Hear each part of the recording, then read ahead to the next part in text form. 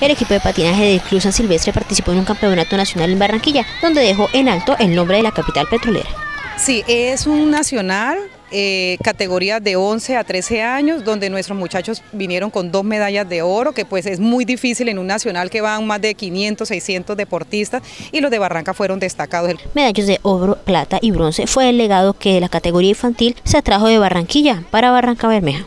Sí, el torneo nacional fue de interclubes en la ciudad de Barranquilla. Se reunieron más de 30 clubes de Colombia.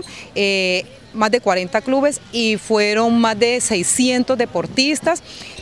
Fue muy duro porque corrimos eh, con todo, digamos con todo Colombia nacionalmente. Eh, nos sentimos muy orgullosos. ¿Por qué? Porque hay niños que son la primera vez que va y le fue muy bien. Según Narda Lozano, este triunfo muestra la calidad del patinaje barranqueño en el ámbito nacional. Sí, está avanzando muchísimo, a pasos agigantados. Lo que necesitamos de verdad es que eh, la misma alcaldía, los mismos políticos, inclusive la, empresa privada colaboren con todos estos muchachos porque el patinaje es un deporte que requiere de muchos gastos. Ahora el equipo se prepara para el torneo departamental que se disputará en Bucaramanga el próximo fin de semana. Un saludo muy especial para Noticias Telepetróleo de los medallistas nacionales. Gracias.